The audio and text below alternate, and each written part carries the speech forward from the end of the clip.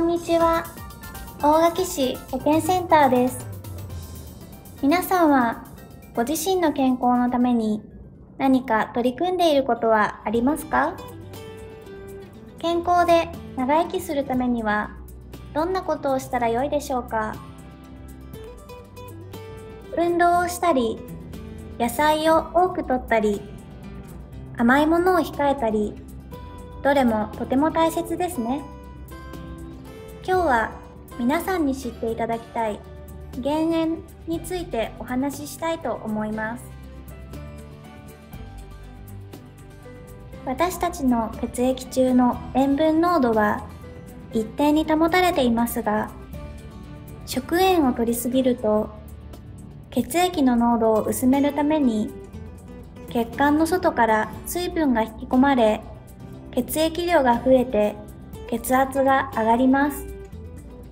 それにより動脈硬化が進行し脳卒中や心臓病のリスクが高くなります。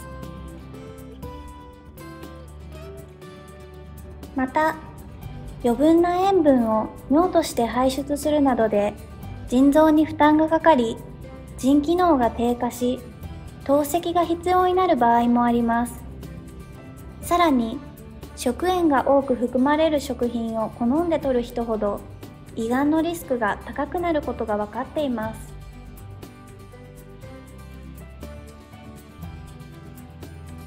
大垣市においては生活習慣病などのうち高血圧症で医療機関を外来受診する人が多くまた女性は心疾患や胃がんで亡くなる人が多くなっています。食塩の摂りすぎは様々な病気のリスクを高めます。健康で長生きするために減塩は欠かせません。それではどのくらいの食塩を摂っているのでしょうか？1日あたりの食塩摂取目標量は15歳以上の男性で 7.5g 未満女性で 6.5g 未満です。しかし現状は男性 10.9g 女性 9.3g もの食塩をとっています。これは1日あたり約3から 4g も多くとっていることになります。日本人の食塩摂取の約7割は調味料からとっています。和食によく使われる醤油や味噌などをはじめ漬物や梅干しなども食塩が多く含まれています。ご飯に味噌汁漬物おひたし冷ややっこ焼き魚という健康的と思える食事でも実は食塩量が多い場合があるので注意が必要です。それでは食塩摂取量を減らす具体的な方法についてクイズをしながら考えてみましょう。ヘルシオクイズ第1問。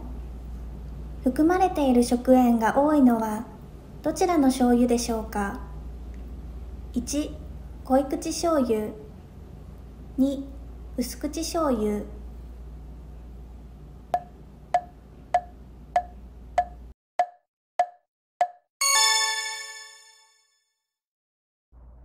正解は2薄口醤油です。名前のイメージから薄口醤油の方が食塩が少ないように思われがちですが実際には薄口醤油の食塩量は濃い口醤油より多くなっています。薄味ということではなく濃い口に比べると色や香りが薄い醤油という意味で薄口醤油と名付けられています。間違えないようにしましょう。第2問。ラーメンの汁を全部残すと食塩は何パーセントをカットできるでしょうか？1約70% 2約50% 3約30%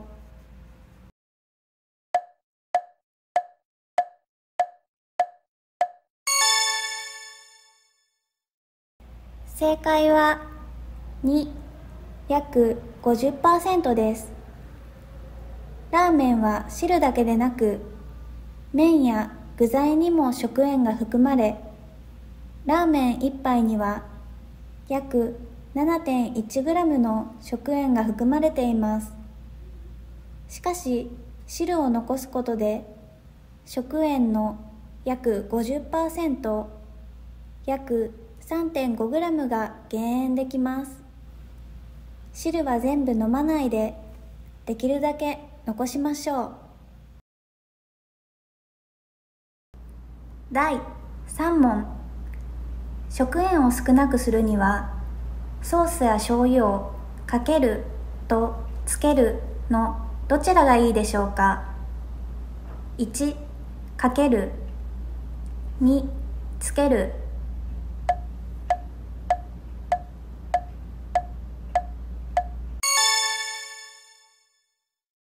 正解は2つけるです。ソースや醤油はかけるよりつけるを心がけましょう。ソースや醤油をそのままかけるとついかけすぎたりどれだけ食べたかわからなくなるので小皿に調味料を取ってつけて食べる方が好ましいです。味が薄いと感じて塩や醤油をかけたりしないようテーブルに食塩の多い調味料を置かないことも大切です。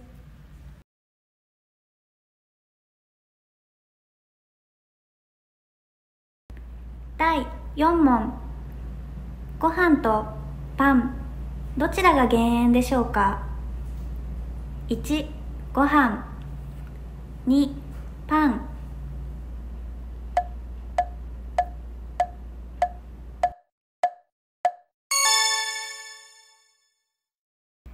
正解は1ご飯です。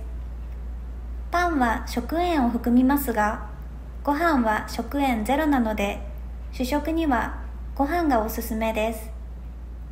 食パン6枚切り1枚に 0.8g の食塩が含まれています。第5問。次の調味料を食塩の多い順に並べてみましょう。ウスターソース濃い口醤油ポン酢マヨネーズトマトケチャップ。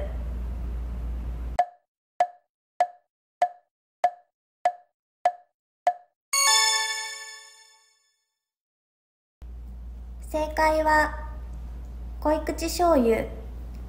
大さじ1杯で食塩が 2.6g あります。次はウスターソース。大さじ1杯で食塩 1.5g です。続きましてポン酢。大さじ1杯で食塩 1g です。次はトマトケチャップ。大さじ1杯食塩 0.5g です。最後がマヨネーズ大さじ1杯で食塩 0.2g です。例えば冷ややっこに醤油をかけるのをポン酢に変更してみましょう。減塩になります。